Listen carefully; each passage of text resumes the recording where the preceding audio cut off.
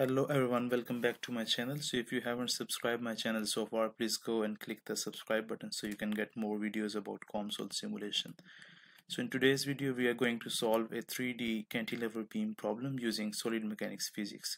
So in the first step we will go to the add component and we will click the 3d and first we need to build a cantilever beam. So here we will click on the geometry and then we will select block in the block we will give the values 0.02 for the width and 0.005 for the depth of the beam and 0.2 for the height of the beam. So you can see here we clearly have a cantilever beam here. Uh, in the next step we will go and click the build all so now we have a beam structure with us. So in the next step what we will do we need to assign the material. Click on the materials and click on add material from library. And I already have built some user defined materials so I will click on stainless steel material. And now automatically all the domain is selected for stainless steel material. So the next step is to add physics. So we'll go on the physics. We will add click the add physics. And here we will go on the structural mechanics and we will click on solid mechanics. Now we have solid mechanics physics selected for this beam. Uh, and then the next step what we will do we will define the boundary conditions. So the first boundary condition we are going to apply a point load uh, on this edge.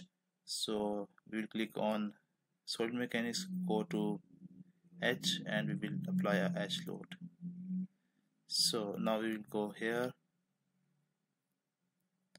And we will select this edge and we will assign the value because the load is in the downward position in the y downward position. So we will select the 100 newton load that is applied on the edge of this beam so we also have to fix the beam from one end. So we'll go on the solid mechanics again. Right click on that and go to the fix constraint and come here and select this face as a fixed boundary.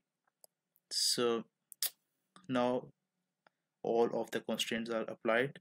So the next step in the next step we will go and create a finer mesh this time and now we will we have to select a steady so go to steady step add a stationary steady step.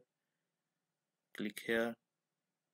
And now you have a stationary steady so you can click here results while solving. So it's okay if you don't click in this case because we are not solving the problem for time dependent steady it's a very simple problem so we'll get the results quickly.